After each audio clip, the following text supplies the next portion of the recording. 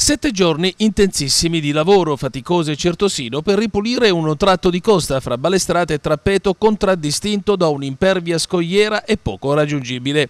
Alla fine Sergio Modica, morealese di 31 anni che frequenta Bologna master in marketing e comunicazione, ce l'ha fatta per giunta incredibilmente da solo. Ben 25 grossi sacchi di rifiuti sono stati prelevati sabato dai mezzi del comune balestratese dopo che il lavoro del giovane volontario si era concluso già a fine marzo. La stupenda scogliera situata nei pressi della foce del fiume Iato, è ritornata a mostrare adesso il suo aspetto più bello, senza più degrado e spazzatura.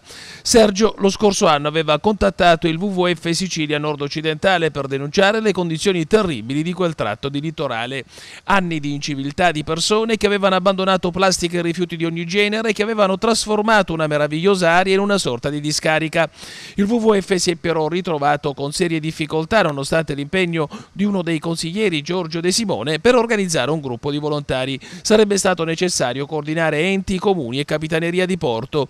L'intervento venne quindi rinviato a data da destinarsi. Sergio però non si è abbattuto ed anzi proprio in questi inghippi burocratici ed organizzativi ha trovato la forza di mettersi al lavoro da solo, mettendoci anche di tasca propria ed utilizzando l'intera settimana di pausa prevista dal master che frequenta.